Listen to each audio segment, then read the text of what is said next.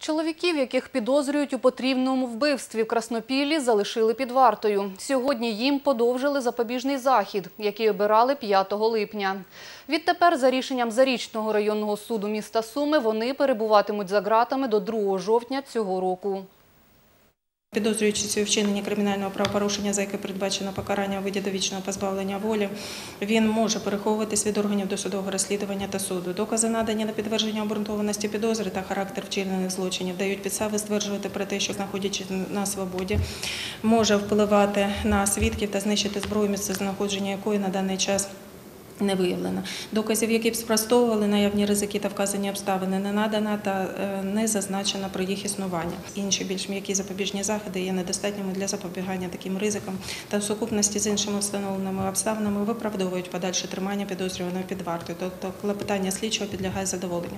Про подовження строку тримання під вартою у залі суду клопотав прокурор. За його словами, слідством встановлено, що в авто, яким тривалий час користувався підозрюваний, знайшли ланцюжки, які належали вбитим, та банер, схожий на той, у який були загорнуті тіла.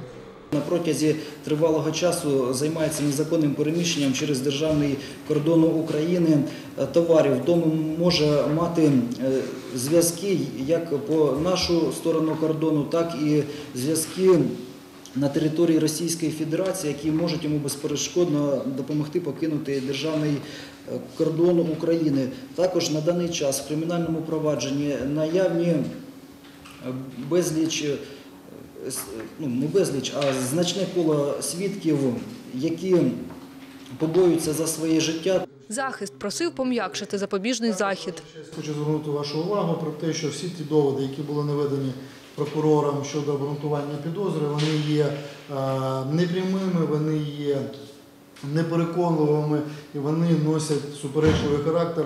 Наприклад, посилання прокурора на те, що в автомобілі вилучені були наявні п'ятна п'я- бурого кольору. Можливо, це кров, а- можливо і не кров. Однак прокурор на сьогоднішній день даними обставинами обґрунтовує підозру. Я вважаю, що достатньо для забезпечення його належної процесуальної поведінки буде обрання запобіжного заходу у вигляді е, цілодобового домашнього аресту з застосува- застосуванням засобів електронного стеження. Нагадаю, це справа про потрійне вбивство, яке сталося 2 липня на території Краштопільського району. Тіла трьох мешканців Запорізької області слідчі знайшли закопаними у полі, засіяному соняшником. Марина Селегінь, Сергій Сурков. На часі новини. Підозрюваних у потрійному вбивстві двоє. Серед них колишній співробітник міліції. Він у січні 2011 року звільнився з посади старшого оперуповноваженого Краснопільського райвідділу міліції. Сьогодні суд також залишив його під вартою. Заслухавши учасників процесу та дослідивши матеріали клопотання, суд вважає, що слідчим доведено обґрунтованість підозри громадянину.